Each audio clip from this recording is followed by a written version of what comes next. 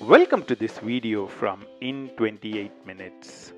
Thanks for helping us provide awesome learning experiences to more than 300,000 learners across multiple platforms Udemy, Safari, and Packt.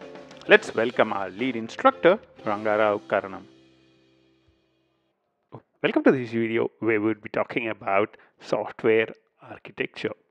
What is architecture all about? That's what we would be discussing in this specific video. To understand what architecture is all about, let's look at a simple picture. In this picture, you can see that we have multiple microservices. Microservice 1, 2, 3. There are a set of common components to handle security, logging, archetypes, and things like that. And you have common infrastructure as well.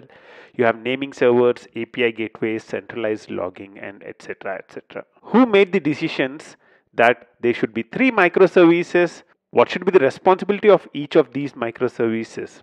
Who made the decisions that these are the common components that need to be implemented and that needs to be used in these microservices? Who makes the decisions that these are all the common infrastructure you would need for all these microservices? That's what architecture is all about. Architecture is all about making decisions what are the different components? What are the different applications? What is the boundary of each of these applications? What is the boundary of microservice 1? What is the boundary of microservice 2? Which other microservices that microservice 1 make use of? What are the common components that you would want to create? What is the responsibility of each of these common components? What is the common infrastructure that you would want? Do you want something for load balancing? Where do you want all your caching to be present? Architecture is all about identifying components and identifying the boundaries for these components. So architecture is basically all about making decisions. Decisions which help you in implementing your applications, your components, and everything else. In 28 minutes is providing awesome learning experiences to 300,000 learners across platforms like Udemy, Safari Online, and Packt. We have clogged million hours of learning in the last few months.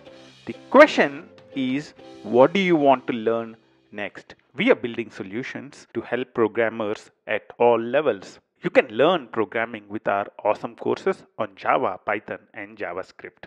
You can learn full stack development with REST APIs and microservices with a wide range of frameworks like Spring Boot, Node.js, React, Angular, and Spring Cloud. We have 200 plus videos to help you start your journey from a programmer to a software architect. We have videos to help you learn frameworks, industry trends, including things like microservices, learn the best practices in architecture, design, and code quality. Thanks for watching. Keep learning in 28 minutes.